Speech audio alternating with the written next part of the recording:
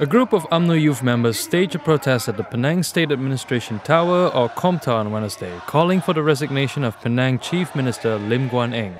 The group gathered at Menara UMNO before marching towards Komtar about one kilometer away.